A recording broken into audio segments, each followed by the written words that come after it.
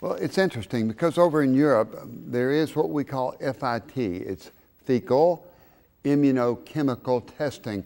And so they're doing testing by taking brushings of stool uh, out of the water in the toilet bowl where they can look at the testing, look at the DNA, look at the inside of the cells, and they can tell if there's something abnormal going on.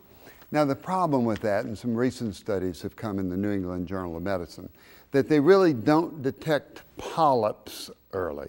And it's the polyps that we find in colonoscopy that are going to lead to getting cancer of the colon in the next four to 10 years. So, right now, at age 50, you need to have your first colonoscopy.